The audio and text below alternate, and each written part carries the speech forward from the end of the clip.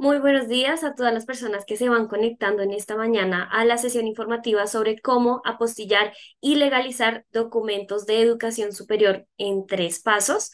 Mi nombre es Luisa Ayala, hago parte del equipo de consejería académica y hoy voy a dar esta pequeña sesión informativa. Quisiera comentar desde un inicio que yo no soy funcionaria pública ni de la Cancillería ni del Ministerio de Educación, así que si tienen dudas muy puntuales, los invito a que eh, vayan por los canales de comunicación que tienen estas entidades y escriban sus preguntas directamente al ministerio o a la Cancillería. Entonces, habiendo mencionado esto, mi intención es darles eh, una pequeña ruta sobre cómo se puede realizar este proceso de apostilla y legalización de forma fácil, sin complicación, eh, y realmente es un proceso que se puede hacer de forma autónoma.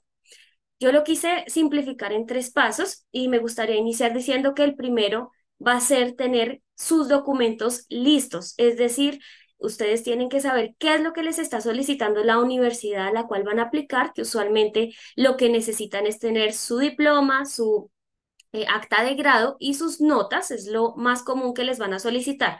Entonces aquí la invitación es a primero ir a su universidad, bueno, solicitar el documento, usualmente esto es en línea, y una vez ya se tienen estos documentos listos, ahora sí es que se empieza el trámite con los diferentes ministerios.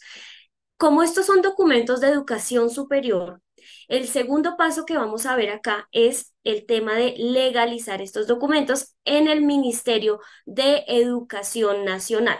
Vamos a ingresar al link del MEN, que es eh, legalización, legalización de documentos de educación superior para adelantar estudios o trabajar en el exterior. Me gustaría comentar un poco y tal vez para tener claro, para que tengan claro qué es este primer paso. Este primer paso de legalización lo que busca es que el Ministerio de Educación verifique los documentos emitidos, emitidos por las instituciones de educación superior de Colombia y esto nuevamente lo realizan, lo realiza quien quiere adelantar estudios en el exterior o trabajar en otro país. Teniendo esto claro, me gustaría también comentar que este trámite no tiene ningún costo. Esta primera parte de legalización con el Ministerio de Educación de Colombia no tiene ningún costo, pero es necesario, es necesario hacer este primer paso. Entonces, para iniciar, se eh, le da clic en radicar trámite. Vamos a leer los términos y condiciones que establece el ministerio, los aceptamos, eh, aceptamos la política tratamiento de datos y al, al, aceptar se nos despliega un formulario que hay que ir llenando. Aquí tengan en cuenta que todo pues, eh, espacio en donde haya un asterisco significa que es un espacio que hay que llenar de forma obligatoria. La recomendación es ser muy cuidadoso con la información que se escribe, verificarla tal vez más de una vez, con la intención de que no se les vaya a negar este primer paso. Entonces tengan mucho, mucho cuidado con los datos que ponen porque esto luego, luego se va a verificar con el documento que, tienen que, que tienen que adjuntar. Es decir, que los datos tienen que coincidir. Muy importante tener esto presente. Cuando van eh, llenando van a encontrar eh, que les van a decir cuál es el motivo de la solicitud. Acá es estudio en el exterior. Van a tener que elegir a qué país o van a viajar llevando estos documentos, ante qué país van a demostrar esta legalidad de los documentos y muy importante que lo tengan en cuenta desde un inicio. En, en unos minutos les mencionaré por qué es importante conocer a qué país eh, se está, para qué país se está realizando el trámite, pero desde este primer momento ustedes ya tienen que tener claro por lo menos el país. Aquí van a tener que seleccionar la educación de, perdón, la institución de educación superior de, de la cual se emitió pues los documentos y más abajo van a tener que seleccionar el tipo de documento. Entonces, en este caso van a ser eh, documentos de educación superior, por ejemplo, el acta de grado, el diploma, el certificado de notas, de asignaturas, lo que les solicite la información, la universidad eh, y eh, pues lo que requieran legalizar. Entonces, vamos a hacer aquí el ejemplo de seleccionar esta. Posteriormente, van a tener que adjuntar el archivo en este espacio. Entonces, nuevamente, tengan mucho cuidado con que la información coincida. Es decir, que si aquí se seleccionó acta de grado, aquí se adjunte el acta de grado. Acá les va a preguntar por último cuál es la cantidad de páginas que tiene ese documento y aquí presten atención en cuántas páginas tiene el PDF que acaban de adjuntar. Si el PDF tiene dos páginas y la segunda página está en blanco, de igual forma cuenta. Entonces aquí hay que escribir dos páginas. Si tiene tres páginas y la segunda y la tercera solo tienen un membrete, una firma, un, el logo de la universidad, lo que, o sea, lo que tengan esas páginas, eh, no importa que no sea como tal información base, siempre tienen que contarla. Entonces, muy importante. ¿Por qué? Porque posteriormente, cuando ustedes soliciten la apostilla, va a salir la cantidad de páginas que se está apostillando. Entonces, muy importante eh, eh, que tengan en cuenta este paso.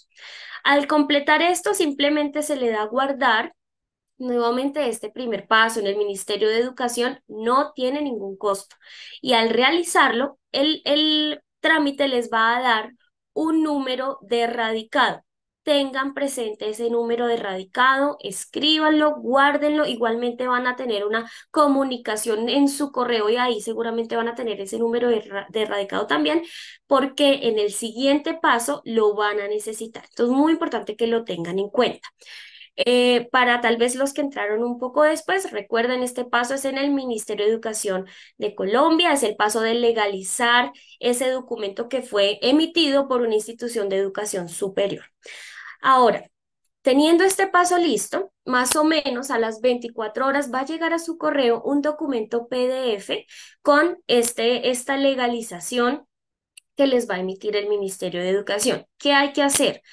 Ahora, vamos a, juntar en un solo documento el, documento que está en trámite, es decir, el diploma o el acta de, grado o las notas, tengan en cuenta que siempre cada documento es individual, nunca va a ser un, documento completo con todo esto, no, un documento eh, por trámite, además es importante que lo tengan en cuenta. Aquí, un trámite, un documento.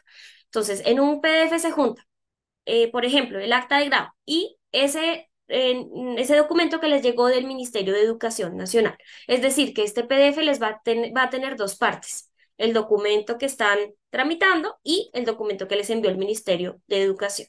Ahora, vamos a ver cuál es el tercer paso, el último paso y realmente el más importante, y es ingresar ahora sí a la Cancillería en la sección legalización, apostilla y legalización en línea. Quisiera que cada uno conozca qué significa este término. ¿Qué significa apostillar un documento? La apostilla o la legalización, bueno, la apostilla es la certificación de la autenticidad de un documento, eh, de esa firma que tiene ese documento que hizo el trabajador diplomático o la persona, por ejemplo, pues en, en la universidad y la firma pues del Ministerio de Educación. Esa es la autenticidad de esa firma que tienen en su documento. Entonces, la apostilla aplica para los países que firmaron el convenio de La Haya en 1961. Para esos países el documento de autenticidad se le llama apostilla. La legalización que tiene el mismo fin de eh, dar fe pues, de la ah, autenticidad de esa firma, se aplica para los países que no firmaron el convenio de 1961 y que se acogen nueva, se acogen todavía a que la legalización es ese documento de autenticidad en el exterior de documentos, en este caso colombianos. Entonces, esa es la diferencia. Sin embargo, el fin es el mismo. ¿Qué va a diferenciar si ustedes necesitan apostilla o necesitan legalización? El país al que cada uno va a ir. No se preocupen que cuando se están llenando estos datos en la, en la página en donde se solicita el trámite, cuando ustedes escogen a qué país van a dirigir su documento, automáticamente el sistema les va a decir si requieren una postilla o si requieren una legalización. Entonces, simplemente para su conocimiento, esa es la diferencia y les pido que no se vayan a confundir con el paso que vimos anteriormente en el Ministerio de Educación, que también se llama legalización, pero esto es un paso aparte, esto es, eh, digamos, es algo previo a, ahora sí solicitar la postilla o la legalización, que será lo que les permita tener el documento final. Si quieren conocer qué países firmaron el convenio de la Haya, los invito a que visiten la página de la Cancillería, acá en la parte donde qué es una postilla, ahí van a estar los países. Realmente la mayor parte de países aceptan la apostilla. Tenemos casos... Em, son casos más pequeños, pues son menos países los que requieren legalización, como por ejemplo Canadá. Pero de resto van a requerir es la apostilla. Nuevamente no se preocupen, esto es algo que les va a decir el sistema. Cuando ya estamos acá y habiendo explicado un poco el concepto de apostilla o legalización, vamos a darle clic en solicite aquí su apostilla. Eh, este paso de apostillar sí tiene un costo. La apostilla tiene un costo de 32.700 y la legalización, para quien requiera legalización, 22.150 pesos. Entonces, esto sí tiene un costo y recuerden, un documento por trámite, un trámite por documento. Nunca se juntan todos los documentos en un solo trámite. Cuando ya estamos acá, entonces empezamos nuevamente a llenar los, los, los campos. Acá vamos a seleccionar documentos electrónicos con firma digital. Tengan en cuenta que la apostilla no solamente está dirigida a documentos de educación superior, que es el tema que nos acoge hoy a todos, pero eh, hay más, hay más, digamos que hay otros documentos que también se apostillan eh, de temas de notariales, de la DIAN, eh, del ICFES, INVIMA, etc. En este caso, hablando de documentos de educación superior, vamos a seleccionar Ministerio de Educación Nacional. Recuerden que les dije que tienen que tener en cuenta el radicado que les emite el Ministerio de Educación, entonces mm, más adelante lo van a solicitar, ténganlo a la mano. Siguen acá eh, los pasos y pues acá ya se tiene que llenar es el correo electrónico, seguimos validando eh, los, los datos del documento, nuevamente les voy a preguntar qué documento es, cuántas páginas tiene, los datos personales de cada uno, se valida, seguramente acá eh, van a tener que adjuntar nuevamente el documento, recuerden adjuntar el documento que les comenté que se construye con documento en trámite más documento que les emitió el Ministerio de Educación. ¿Cierto? Ese es el que van a tener que adjuntar en esta, en esta parte. Después realizan el pago de acuerdo a la, que, a la, apostilla o legalización, va a ser un costo diferente. Y finalmente eh, ya culminan este trámite y la Cancillería tarda en alrededor de tres días hábiles en enviarles la apostilla como tal y lo que hay que hacer es adjuntar, perdón, juntar en un solo documento eh, el documento que está en trámite, es decir, por ejemplo, el diploma o el acta de grado o las notas, Segundo, documento que les emitió el Ministerio de Educación Nacional. Y tercero, la apostilla o legalización de acuerdo al país al que cada uno, eh, pues con el que cada uno tenga el fin de, de realizar este trámite.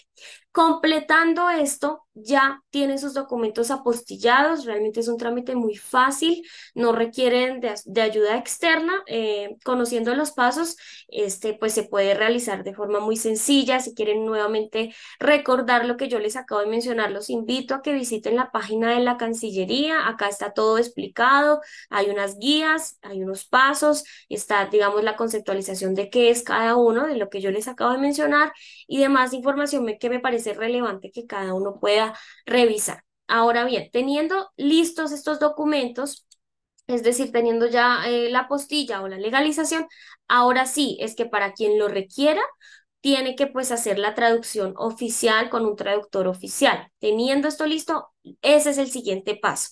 El traductor conoce el, digamos, cómo funciona el trámite, pero de manera general les cuento que el traductor lo que hace es hacer pues la traducción del documento, de los documentos, y después él realiza su firma y la persona tiene que luego ir a la notaría en la que el traductor tiene registrada su firma para verificar esa firma. Entonces, ese es un, trámite, digamos, posterior que seguramente el traductor les explicará con eh, detalle.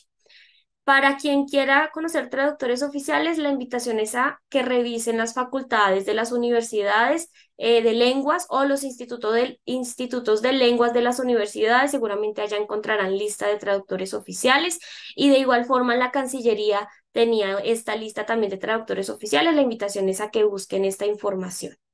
Eh, y bueno, eso sería todo lo relacionado con hacer este trámite de apostilla y legalización en tres pasos. Nuevamente es un trámite muy fácil que puede hacer cada uno y que la invitación es que lo hagan eh, lo más pronto posible. No se vence, la apostilla es para toda la vida. Eh, tal vez es, digamos, un paso a paso que les va a ahorrar tiempo y estrés cuando estén aplicando ya a su programa tal vez de maestría, doctorado o especialidad médica en el exterior. Y mencionando eso, no sé si tienen alguna duda adicional que pueda resolver. Sí, muchas gracias Luisa por la información. Eh, voy a leer las preguntas que tenemos en el chat. Sin embargo, recuerden, como ya lo mencionó Luisa, es importante que para información específica se comuniquen directamente con los canales de las instituciones que se encargan de hacer estos trámites. Voy a empezar con María Paula y ella nos pregunta que si la universidad no habla específicamente sobre la postilla, igualmente se debe hacer. Eh, yo creo que lo mejor siempre será verificar con la universidad, preguntar si ellos requieren que se necesite una postilla, pero lo más común es que sí, porque la postilla es lo que garantiza que ese documento que estás enviando a la universidad sea eh, auténtico, sea legal y sea, haya sido pues eh, emitido por una institución certificada en Colombia. Entonces lo más probable es que siempre se requiera. Listo, vamos con otra pregunta de Janina y es, en caso de que se vaya a presentar a dos universidades de países diferentes, ¿se debe hacer el proceso dos veces? Depende. Si en los dos países aceptan la apostilla, entonces, supongamos que el país es Italia y España, ambos aceptan apostilla, no tienes que hacerlo dos veces. Pero si el país es uno de los que hacen parte de los que de la legalización, por ejemplo, Canadá y España, en ese caso sí se tiene que hacer dos veces porque un trámite es la apostilla y otro es la legalización. En ese caso sí se tiene que hacer dos veces. En el caso que sea para países donde acepten la apostilla ambos, no, solo una vez. Listo. Bueno, eso también responde la pregunta de Alejandra y voy a seguir con Ricardo. Él menciona, se, se fusiona el PDF del documento en trámite más el documento expedido por el Ministerio de Educación. Sí, exacto. Y después, posteriormente, se le suma el, la, el documento expedido por la Cancillería. Vamos, bueno, María Paula nos pregunta que si se va a grabar esta sesión y la respuesta es que sí. Si alguno necesita como repetir la información y el paso a paso que Luisa nos dio, va a poder revivir la información en nuestro canal de YouTube en las próximas semanas, donde subiremos la grabación de esta y de las demás sesiones que realizamos. Listo. Bueno, eh, tengo una pregunta de Daniela, no sé Luisa si la puedes leer desde el chat, ya que es una pregunta un poco larga, entonces para que de pronto puedas entenderla mejor. Bueno, Daniela dice, según nos comentabas el tema del convenio de la Haya, si las universidades en mi caso, perdón, si las universidades en mi caso, ay, se me fue, de los Estados Unidos, a las cuales voy a aplicar los documentos, me confirmaron que no necesito realizar apostilla o certificación adicional del gobierno, aparte de los documentos originales emitidos por la universidad, más traducciones oficiales, entonces no tengo que realizar el último paso con la Cancillería, me bastaría con realizar la legalización. Pues si aquí la universidad ya te dijo que no necesitan el, apostillaje, pues, eh, pues no lo tendrías que hacer, pero pues claramente siempre lo que les diga la universidad. Si el caso de, del Ministerio de Educación, pues si no te piden la apostilla, no, no tampoco sería necesario que hicieras el paso de legalización, a menos que la universidad te lo pida. Es, es, siempre va a depender de lo que les diga la universidad. Vamos con Julián. Bueno, esta es una pregunta, como les decimos, en este caso la universidad es la fuente principal de información, sin embargo, él nos dice, ¿qué otro documento valdría la pena postillar aparte del diploma, acta de grado u hoja de notas? Para aplicar a, estudios en el exterior, realmente esos son los más comunes. Y como mencionaba Lady, siempre va a ser lo que les diga la universidad o lo que les pida la embajada para tramitar la visa. Si les piden, por ejemplo, apostillar el pasaporte, pueden tenerlo en cuenta, pero siempre lo que les piden. De pronto no, no vale la pena por hacer el trámite antes apostillar todo documento y tal vez no se requiera. Entonces, lo que les pidan. Listo. Vamos con eh, Tania. Ella nos pregunta, ¿puedes repetir, por favor, el paso siguiente a la traducción de la apostilla? Claro, una vez ya se ha completado todo el trámite de la apostilla, ahí es cuando se piensa en la traducción oficial. Hay universidades que no piden que la traducción sea oficial y hay unas que sí. ¿Cuál es la invitación? Que es mejor eh, eh, digamos, estar seguro y hacer una traducción oficial. Existen una lista de traductores oficiales colombianos, entonces la, la intención es que lo busquen o en la universidad donde estudiaron, en diferentes universidades, en Instituto de Lenguas de las universidades, etc. Una vez tienen ya su traductor o han cotizado y ya saben cuál van a hacer, pues el traductor les va a hacer el trámite y el traductor oficial tiene su firma registrada en una notaría. Cuando culmina el proceso de traducción, la persona tiene que, pues con sus documentos traducidos, ir a esa notaría donde el traductor tiene su firma registrada y en la notaría lo que hacen es una verificación de esa firma, eh, de que realmente sea verídica, de que ese sea el número de registro del traductor, etcétera. Y ahí eh, te ponen la firma pues del notario y demás, entonces ya te quedaría completo el trámite. Esto es cuando la traducción es por un traductor oficial y, pues se quiere hacer, digamos, de la forma oficial. Así es, es como funciona. No se preocupen, los traductores saben cómo funciona, digamos, esto, cuál, es el paso a paso, entonces seguramente les indicará cuál es la notaría a la que tienen que ir, de acuerdo a donde la tengan registrada la firma, eh, pues el traductor. Listo. Bueno, tengo varias preguntas sobre la grabación de la charla. Eh, vuelvo y reitero, se va a subir al canal de YouTube de Colfuturo. No va a ser inmediatamente, pero probablemente en la próxima semana ya podrán revisar esta grabación en nuestro canal de YouTube. Listo. Bueno, voy con Carolina y su pregunta es, ¿para apostilla se debe indicar el país al que se va a presentar el documento? Sí, y esto principalmente es, eh, lo hace la Cancillería para saber qué documento necesitas, si una apostilla o una legalización. Es, la, digamos, lo que les indica qué, digamos, qué proceso seguir. Entonces es por eso que hay que indicar el país. Como les mencionaba, la mayor parte de los países y los más comunes para ir a estudiar requieren una apostilla. Eh, pero si quieren conocer la lista, los invito a que ingresen a la página de la Cancillería en la sección de apostilla y legalización en línea y ahí pueden encontrar la lista de los países que pertenecen al convenio de la Haya y los que no, que en este caso se requeriría una legalización. Pero recuerden que la apostilla es algo que dura para siempre, no, en la apostilla no les va a quedar eh, el país al que tienen que ir, simplemente es para saber qué, qué trámite van a necesitar.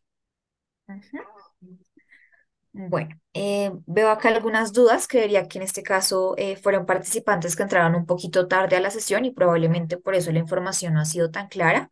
Así que simplemente le voy a pedir el favor a Luisa de que trate de resumir un poco todo el proceso. Igualmente, si ustedes se perdieron los detalles que ella dio, pueden ver la grabación y repetir toda esa información de manera más precisa. Pero simplemente, Luisa, si tal vez nos puedes resumir esos tres pasos que dijiste al inicio de la presentación. Bueno, perfecto. Entonces, para tal vez quien llegó tarde o no quedó muy claro, primer paso, tienen que tener listos los documentos que van a apostillar o legalizar. Eh, solicitarlos a la universidad o pues seguramente la, el documento del diploma de acta de grado ya la tendrán. Segundo paso, necesario, hacer la legalización en el Ministerio de Educación Nacional de Colombia. Entonces, entran al ministerio, buscan legalización, radicar trámite, que está un poquito antes, y llenan los datos. Tengan mucha precaución con que sus datos estén bien consignados porque esto va, digamos, va a ser revisado y pues si no están bien, puede ser que no les salga la legalización y les toque volver a hacer el, el paso.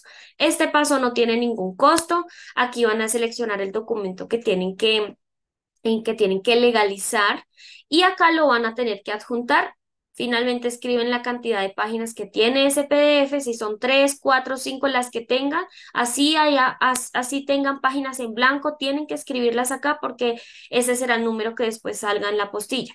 Cuando se culmina este primer paso, a las más o menos 24 horas, máximo tres días hábiles, el Ministerio de Educación les va a emitir un documento, les va a llegar a su correo. Un documento de legalización proveniente del Ministerio de Educación. ¿Qué tienen que hacer? Juntar en un PDF el documento que está en trámite, es decir, el diploma, por ejemplo, más ese documento que les llegó del Ministerio de Educación.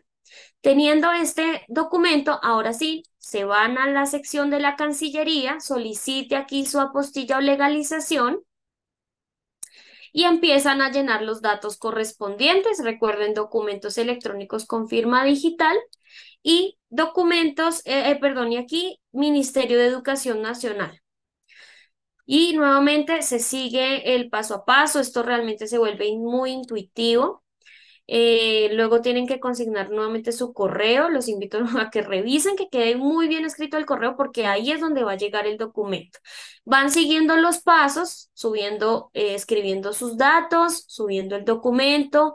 Eh, les va a preguntar a qué país van a, va dirigido el documento, por lo mismo que les decía, para que el, el trámite virtual sepa si se va por el camino de legalización o de apostilla para luego hacer el pago, que cuando es una apostilla son 32.700 y cuando es una legalización 22.150.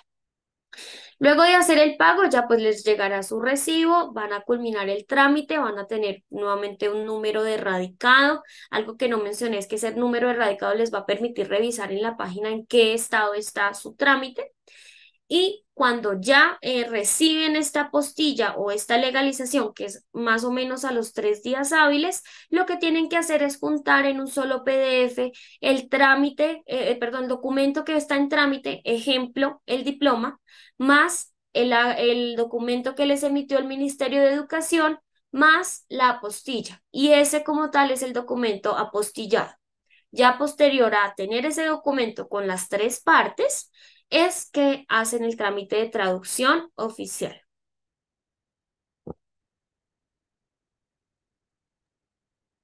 Listo, muchas gracias Luisa. Sé que hay bastantes preguntas porque es un tema un poco nuevo para muchos que están planeando su estudio en el exterior.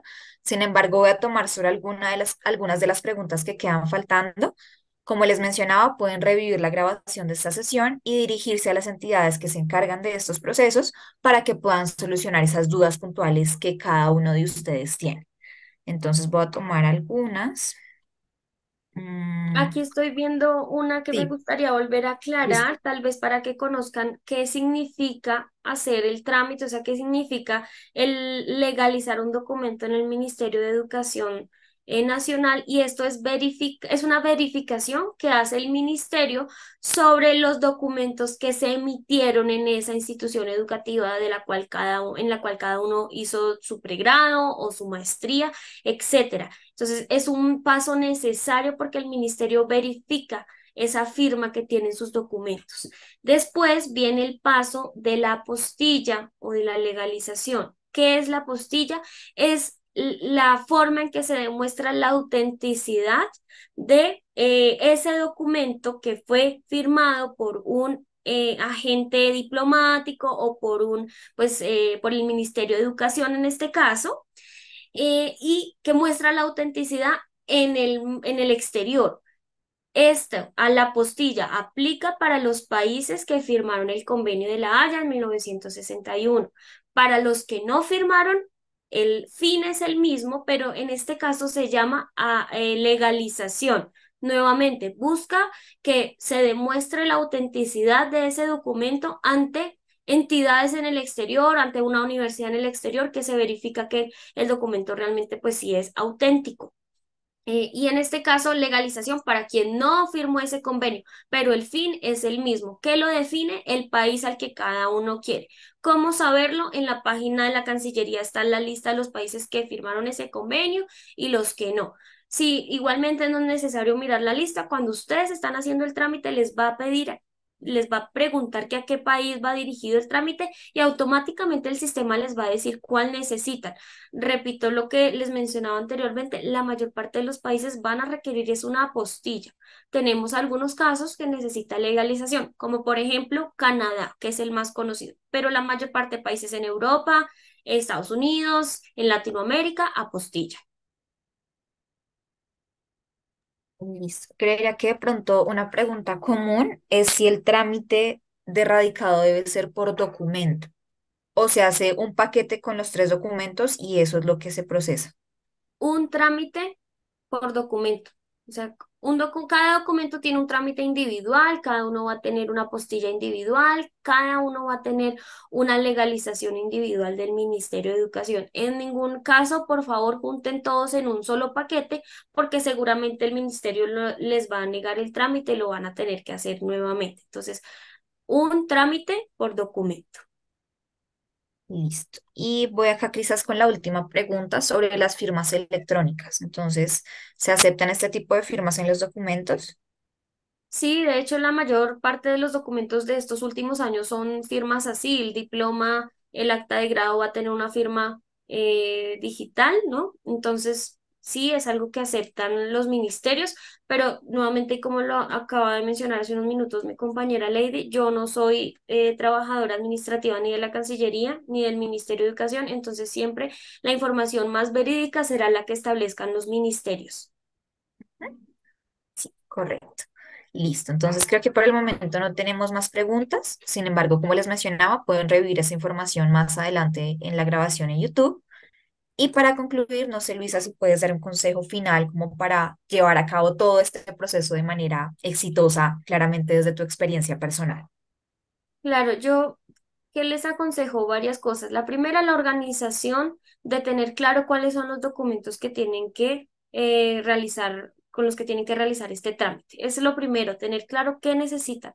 Segundo, dedicarle un espacio a hacerlo realmente y, y digamos, soy fiel creyente que la preparación previa siempre da más calma. ¿Qué significa? Que si ustedes en este momento no están presionados por el tiempo, vayan haciendo estos trámites para que cuando ya los tengan que subir en la plataforma de la, universidad o enviarlos, los tengan listos y estén tranquilos de que ya cumplieron con ese paso.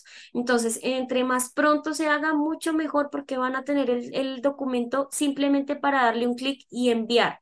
Esto toma algunas, digamos, más o menos dos semanas, no es mucho tiempo, va a requerir una inversión porque cada documento tiene un costo individual. Entonces, que lo vayan haciendo con tiempo y que no se les acumulen todos los gastos, seguramente va a beneficiarlo. Y lo otro, miren, realmente esto es un trámite muy sencillo que la, las, los ministerios, tanto de educación como la Cancillería, han facilitado de la mejor forma para poderlo hacer de forma individual. No se requiere de forma obligatoria tener a una ayuda externa es un paso, es un paso a paso muy sencillo. Entonces la invitación es a que nuevamente si quieren volver a repetir el paso a paso, revisen el video, miren los, los instructivos que tiene cada uno de los ministerios y seguramente con calma, con paciencia van a poder tener sus documentos debidamente apostillados o legalizados de acuerdo al país al que cada uno vaya y estarán tranquilos de que tienen un paso eh, hecho y que simplemente van a tener que enviar. Entonces, ese sería, esos son más o menos mis consejos. Gracias a todos los que se conectaron. Espero que realmente haya sido información eh, válida, que les sirva, que la tomen y que la, pues, lo, lo puedan realizar, puedan realizar este trámite por sus propios medios. igual, cualquier duda frente a estos trámites, la invitación es a que escriban directamente o al Ministerio de Educación o a la Cancillería. Sí, muchas gracias, Lisa. Solo para concluir, les hago la invitación a todos los que estén interesados en estudiar su programa de posgrado en Reino Unido, a que esta noche a las 6 de la tarde en una sesión virtual vamos a estar con una persona de la beca Shivning, quien nos va a brindar información sobre cómo postularse, temas de requisitos, cuál es como tal el beneficio que ellos les ofrecen para los que desean estudiar su maestría en este país. Así que están todos invitados, pueden ir a la página web de Colfuturo y en la sección del calendario van a encontrar la sesión que vamos a tener con Beca Shivning a las 6 de la tarde. Así que simplemente es un anuncio para los que estén interesados. Bueno, muchas gracias, Leide. Entonces, sin más que agregar, les deseo a todos un excelente día. Gracias por eh, participar en esta sesión informativa y pues seguimos muy atentos de todos los, de todos los webinars y demás que eh, tiene Colfuturo para pues cada uno de ustedes. Que estén muy bien.